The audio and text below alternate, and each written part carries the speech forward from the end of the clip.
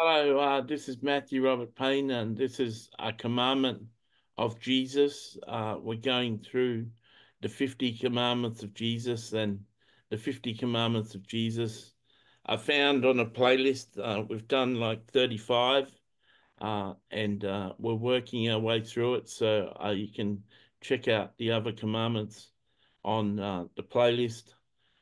This is the latest commandment and what happens is Tolu reads the title of the commandment. Uh, she reads uh, the scripture passage it comes from. Then she asks up to uh, 10 questions. And as a prophet, uh, Jesus speaks through me and answers the questions. So we're pretty close uh, to the second coming because Jesus has spent time uh, teaching his 54 parables through me, and uh, now he's teaching his 50 commandments through me, and uh, must be getting close to uh, him returning. Uh, so I hand it over to, Tolu. Thank you, Matthew, and welcome, Jesus. The title of today's commandment is Repent of Your Sins. And I'm going to read two different Bible passages. The first one is Mark chapter 1, verse 15. It says, The time is fulfilled and the kingdom of God is at hand. Repent and believe in the gospel. Then we've got Luke 13, verse 3 to 5. It says, I tell you, no, but unless you repent, you will all likewise perish. Or those 18 on whom the tower in Siloam fell and killed them, do you think that they were worse sinners than all other men who dwelt in Jerusalem? I'll tell you no, but unless you repent, you will likewise perish. So that's the two passages for the title of the commandment today, which is repent of your sins. The first question I've got is what does it mean when you say the time is fulfilled? How does this relate to the urgency of repentance? Uh, so uh, there was uh, a timetable as when uh, the first appearance of the Messiah was to appear, and uh, it was prophesied uh, in the prophets how he'd arrive and what he would done, and uh, the time had been fulfilled. He's saying that he is present now, and uh, people need to uh, do what I say. Okay, thank you, Jesus. And how do repentance and belief in the gospel, how do they work together in transforming one's life? Uh, so, uh, first of all, uh, a person has to uh, come to uh, the decision or come to the knowledge that they need to change, uh, that uh, they're, they're in need of a savior, and uh, repentance is uh, your way of uh, accepting that fact and uh, asking uh, for me to be part of your life and for you to put the whole life away through the act of repentance. Okay, so in order to enter the kingdom of God, how is it connected together, the repentance itself? Uh, so uh, part of uh, the process of uh, becoming a Christian uh, is uh, the repentance side of it. Uh, of course, uh, uh, understanding the kingdom of God, uh, having the ability to see visions and uh, uh, visit heaven and have uh, supernatural encounters. That part of supernatural uh, part of uh, being a part of the kingdom of God isn't evident uh, to many people. It doesn't manifest uh, to many people. But as far as uh, people qualifying to go to heaven, repentance is one way into that place. Thank you, Jesus. And the reading of the Luke, I think there was something about some tragic tragic events that happened there. Why did you highlight repentance in, re in response to the tragic events?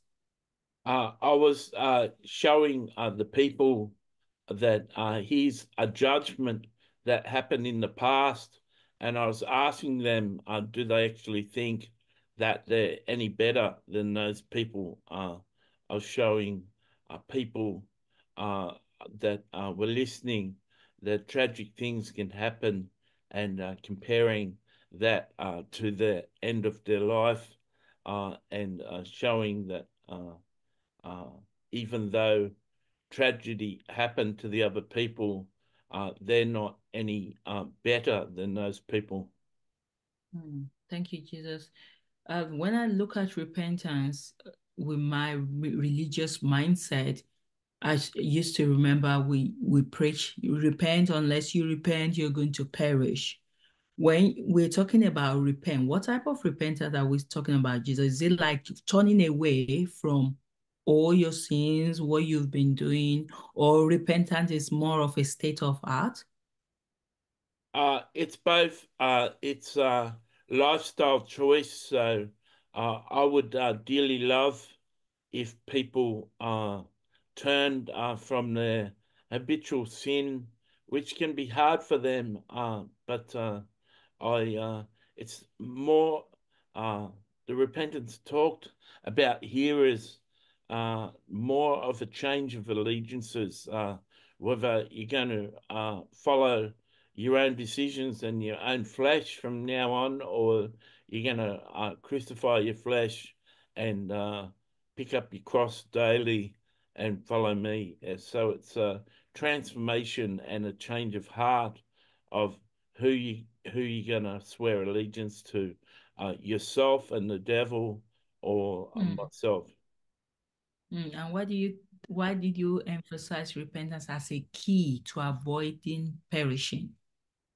Uh, because uh, it's a doorway. It's the entrance uh, to a doorway. It's the entrance uh, to uh, uh, coming uh, into uh, restorative uh, relationship uh, with me. It's like one of the keys, uh, one of the ways you enter the doorway.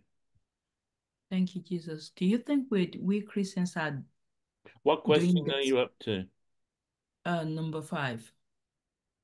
I think yeah, number five, Matthew. Do you think we doing the right justice to this passage, repentance? Is it the way that we preach it? Is that the way you emphasize that we should be reaching out to people where you go on the street and say, you repent, unless you repent, if you don't repent, you'll perish. Is it in that manner or it's more of a gent gentle way of just reaching out to people and telling them the importance of repenting and why they need to draw near to God? Uh, it's a traditional way of Christians and a religious sort of mindset of Christians. Matthew just uh, prophesied uh, to a Hindu woman, and uh, God spoke uh, really lovingly to her and really accepting of her. And uh, she wrote back and said it was a beautiful message, and she's going to keep this video. It was very precious to her. Thank you so much. And um, Matthew didn't hear one word uh, from God, uh, speaking to this Hindu woman who believes in other God. Matthew didn't hear one inflection uh, from God that she needed to repent and she needed uh, to choose uh, Jesus as a savior. Uh, she she seemed to be accepted and loved by God and didn't need to make any changes. So um, this is in a book written mainly to Christians and this is the way that Christians know, but I've got a, a lot of uh, uh, different uh, purposes and ways for people to make it to heaven. Thank you, Jesus. And how can we understand the urgency of this message in light of your return? Uh, so uh, people uh, have to understand that uh, uh, in order to be doing the will of the Father, like it says in 1 John 2.17, uh, that uh, people will live forever who do the will of the Father, and, uh, and 1 John, uh, uh, Matthew 7, it says, only those who do the will of the Father make it to heaven. And uh, Jesus doesn't say, I don't say, depart from me, I never knew you. So part of uh, doing the will of the Father is uh, to understand my teachings and obey them. Uh, there's many people, uh, sadly, uh, who don't obey me and uh, don't participate in what I taught, and they don't end up in heaven. thank you, Jesus. And how does the true repentance, how does it affect our daily walk with God according to these passages? Uh, one understanding of repentance that hyper grace people bring up uh, is uh, the word uh, repentance uh, in that context means have a change of heart. And uh, it's true that it would be best that people have a change of heart and mm. come to realize that I'm the savior and I'm the teacher and they should obey uh, what I teach and live their lives accordingly. And time is uh, running out and time is getting short. Uh, the best time to start to obey me is now. Mm, thank you, Jesus. Matthew number nine. And how can we recognize areas of our lives that require repentance in light of these verses? The Holy Spirit uh, will be used to convict you of uh, certain areas in your life and certain things that you're doing uh, that he doesn't approve of. He'll uh, put his finger on it. Uh, you'll think about those things, or when you're doing those things, you'll uh, mm. be convicted by the Holy Spirit. And uh, that's the time where you could uh, go to prayer and ask the Holy Spirit for his strength for you not to participate in the actual thing he's convicting you of. Yeah, thank you, Jesus. And I wanted to understand how does these verses challenge the idea of self-righteousness or blaming others for their misfortunes? Uh, so uh, everyone uh, is uh, destined to, to run their own uh, course and participate uh, in their own life. Um, and uh, sadly, some people who overcome uh, sin uh, and uh, habitual sin or a sin that had uh, them bound, sometimes they become so excited with the mm. fact that they've overcome the sin that they become self-righteous and start preaching to other people and uh, boasting of uh, their righteousness, which isn't something that's uh, enlightening, isn't something that's endearing uh, to other people. So it's important as you overcome uh, your sins and get on top of your sins, it's important for you to be humble and uh, share your testimony with grace and love. Thank you, Jesus. And my last question is what are the consequences of ignoring the call to repent? Uh, so, uh, in the traditional Christian sense, uh, that uh, is uh, understood by the majority of Christians.